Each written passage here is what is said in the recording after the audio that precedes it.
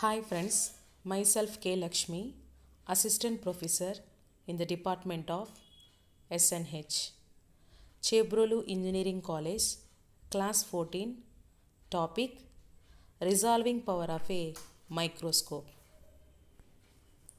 Now, in this video, I would like to discuss about resolving power of a microscope.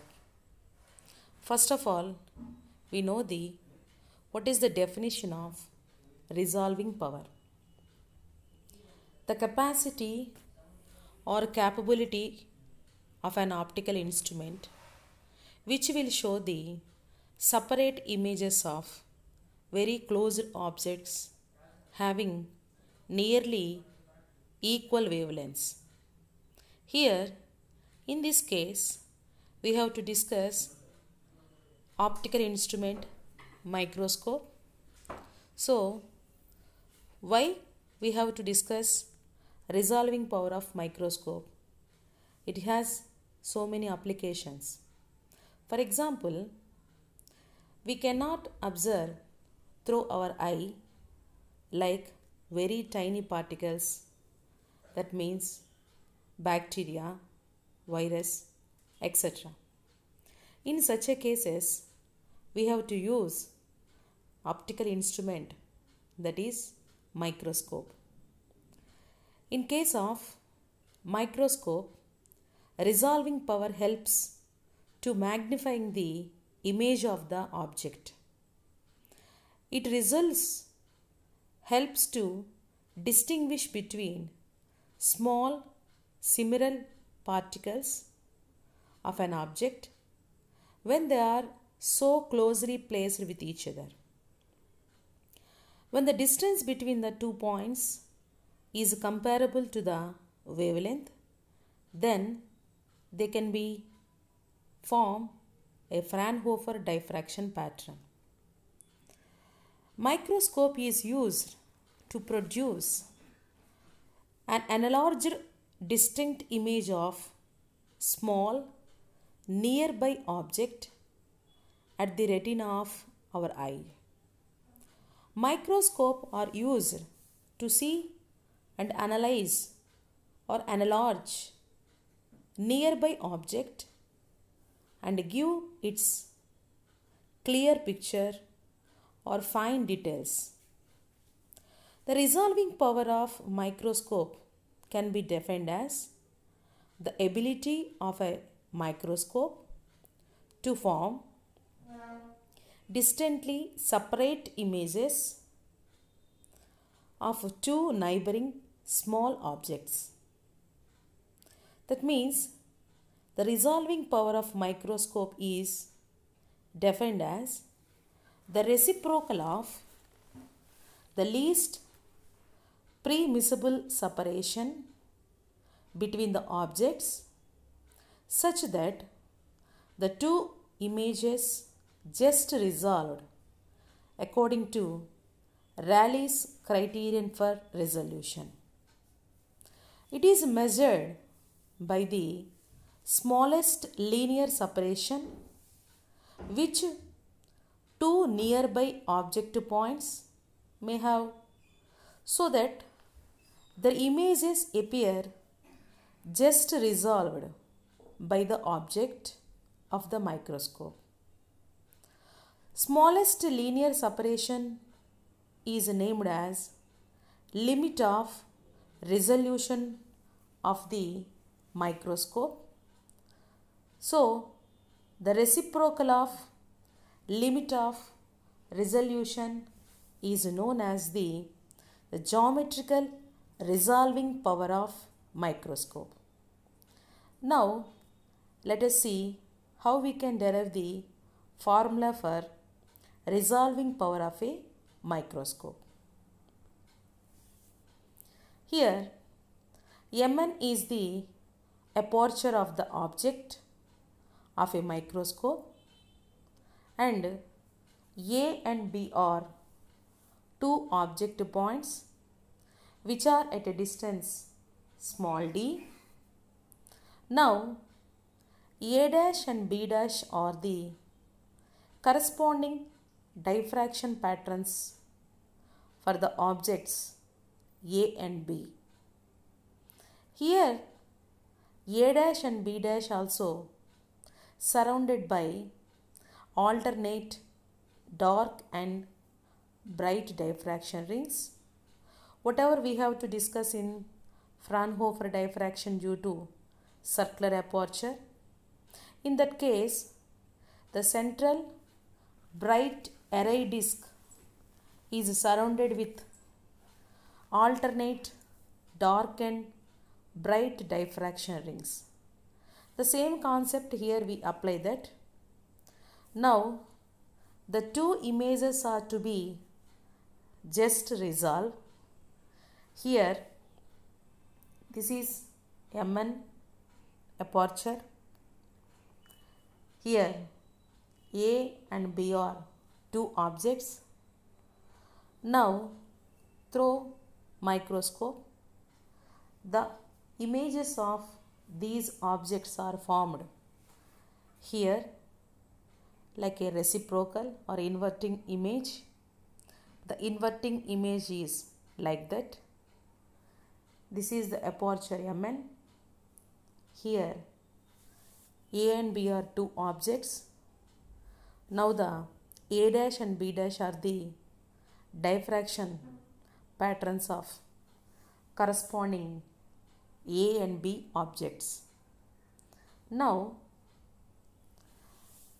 when we observe at the point B dash, it is in the case of Rayleigh's criterion of resolution.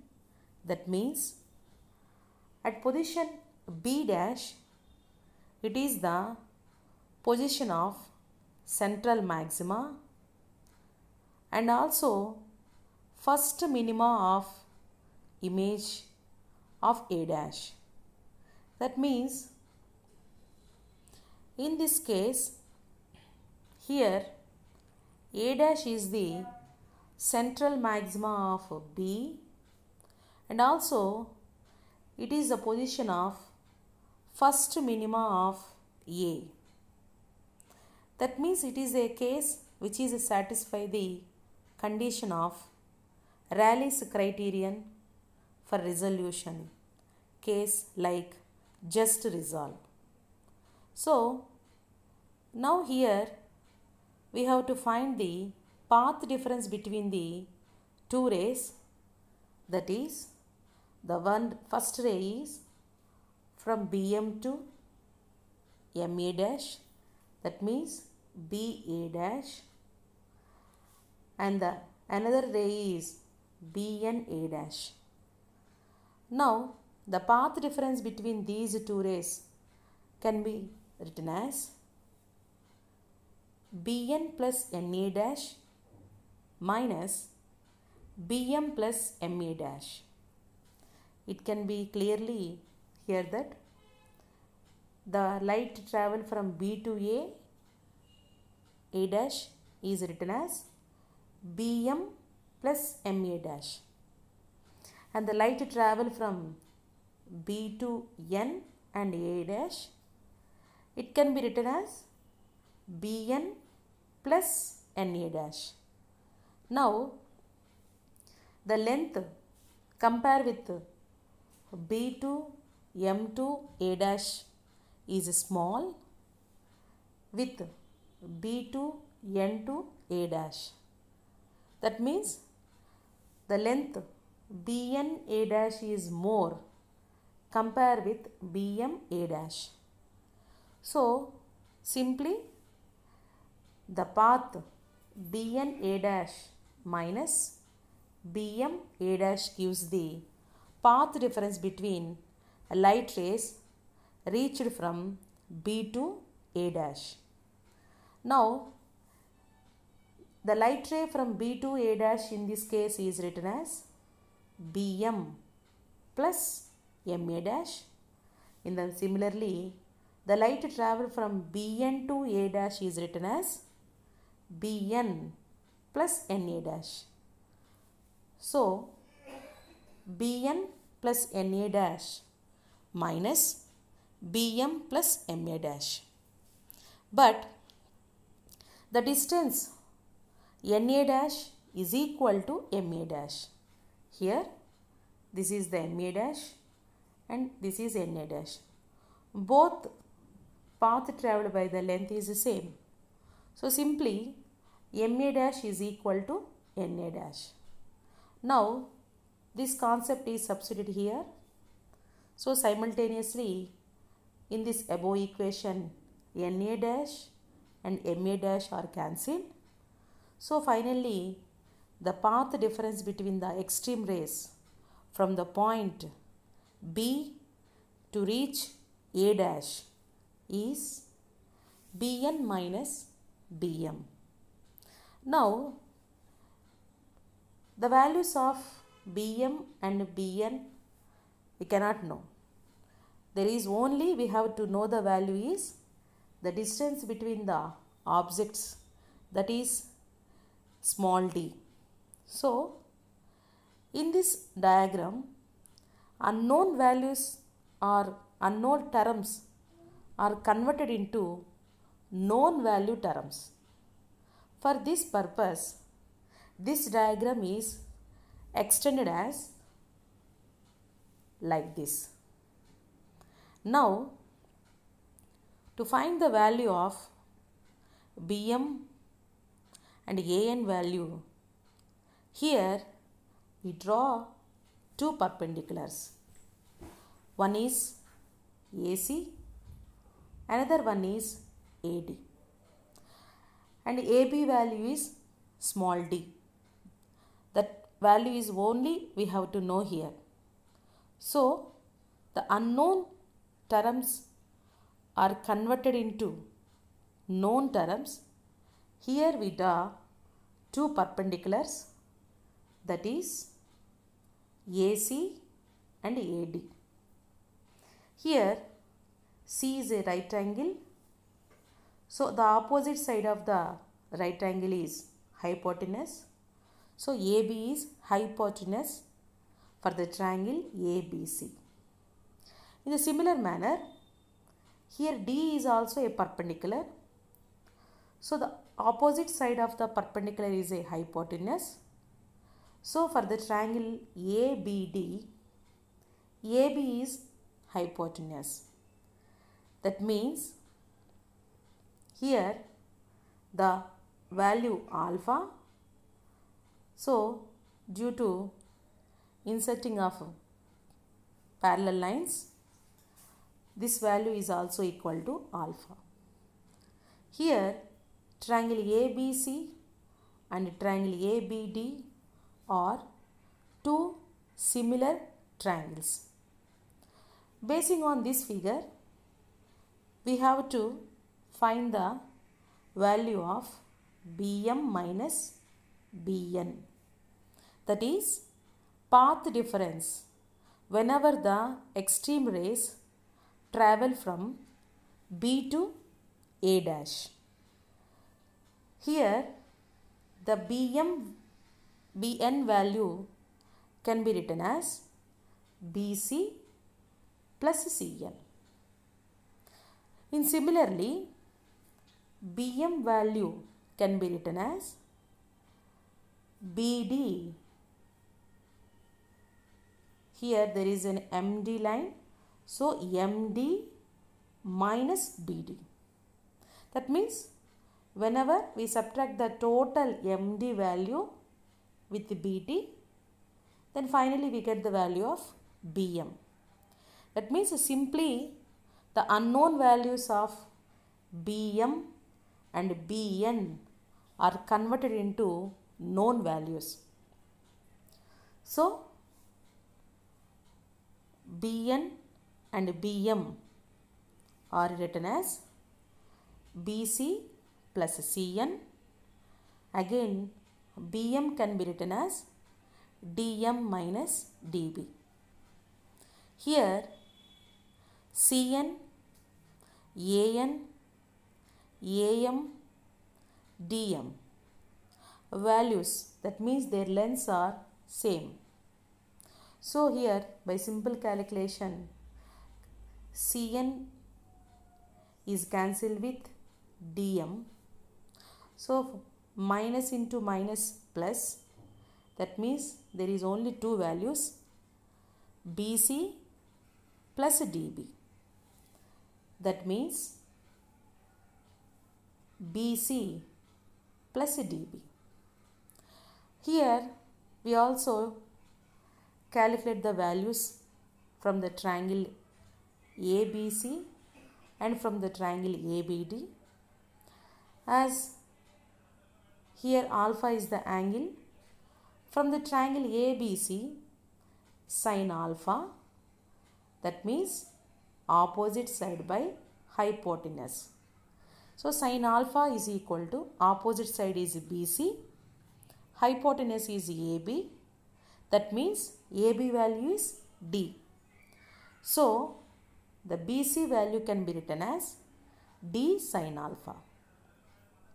The same way from triangle ABD sine alpha opposite side that is BD hypotenuse that is AB so dB by AB that means sine alpha is equal to dB by AB value is a small d.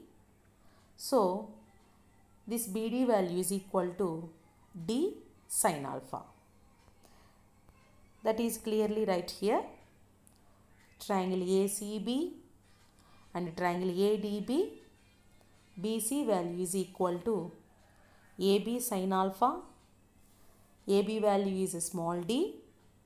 So that is equal to d sine alpha and another triangle ADB DB is equal to AB sin alpha and the AB value is D sin alpha. Therefore, the path difference is that means BC plus DB.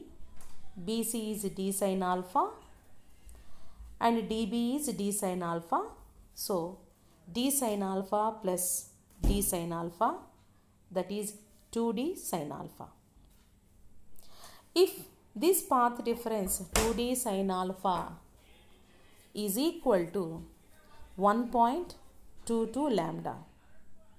Here the path difference is equal to integral multiple of wavelength that is the condition for first minima. Whenever for the first minima n value is equal to 1 but here we have to write the 1.22 value that is the correction process whatever we have to discuss in Fraunhofer diffraction due to circular aperture. So simply A dash corresponds to the first minima of the image B dash and the two images are appear in a just resolve case. So finally we got the path difference is equal to 2d sine alpha equal to 1.22 lambda. Basing on this formula, the formula for d that means distance between two objects d is equal to formula 1.22 lambda by 2 sine alpha. Actually, based on the assumption that the object points A and B are self-luminous. But whenever we used microscope in cases of non-luminous bodies, in that cases we have to illuminate it with some light from any condenser. That means it is found that resolving power depends upon the mode of illumination. That means the capacity or the clarity of the object through microscope is depends upon the whatever the light illuminated or incident on the object by the reflection of those rays, we have to see the separate images of closed objects. That means finally the resolving power of microscope is completely depends upon the mode of illumination. That means depending upon the light. According to Abbe, the least distance between two just resolvable object points is given by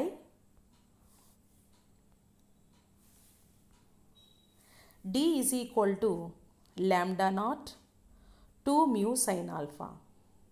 Here lambda naught is the wavelength of the light in vacuum and mu is the refractive index of the medium between object and the objective. The space between objective and the object is filled with oil like uh, cedar wood oil in microscopes of for high resolving power. This has two advantages.